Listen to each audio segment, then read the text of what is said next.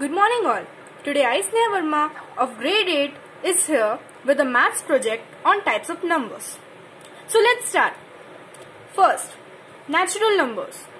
Its sign is n and the numbers for counting are called natural numbers. Example 1, 2, 3, 4, 5, 6 till infinity. The next. Whole numbers.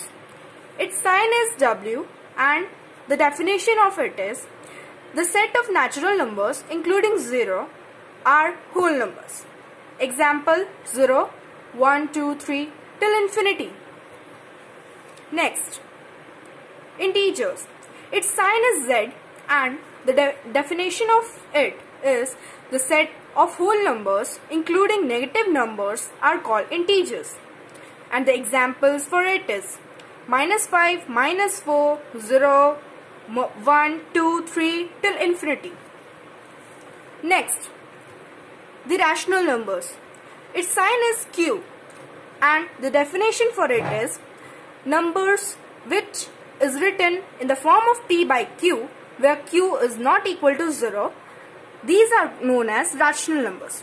Examples for it are minus 3 by 5, minus 2 by 5, 0, 2 by 5, etc. Thank you.